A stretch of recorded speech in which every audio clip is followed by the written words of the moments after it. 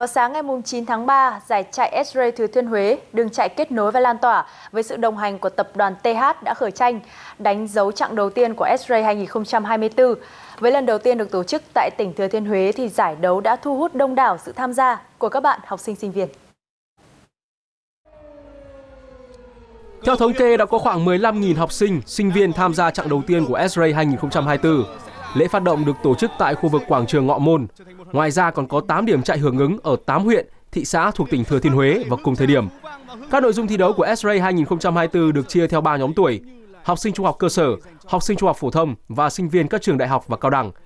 Ngoài ra, còn có các hoạt động hưởng ứng S-Ray Family dành cho học sinh tiểu học và phụ huynh, S-Ray School dành cho thầy cô giáo và học sinh lớp 6, 7, Song song với hoạt động thi đấu trực tiếp, ban tổ chức còn có sự kiện trực tuyến S-Ray Online được tổ chức đồng thời tại 63 tỉnh, thành trên cả nước.